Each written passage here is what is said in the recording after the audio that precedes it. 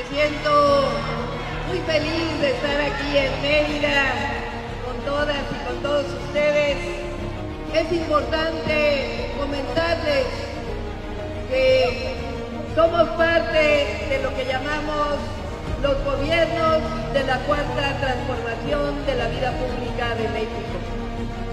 Y la esencia de esta cuarta transformación es la separación entre el poder político y el poder económico.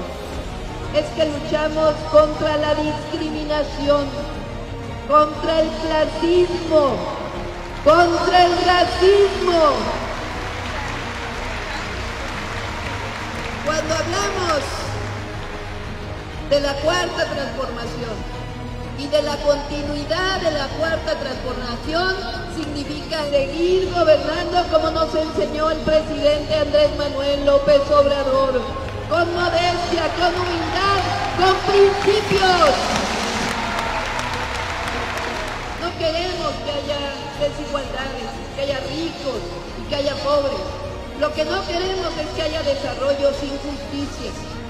Pero también queremos mayor igualdad entre hombres y entre mujeres.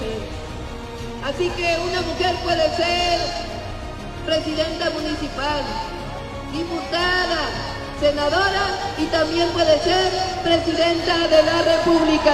Muchas gracias a todos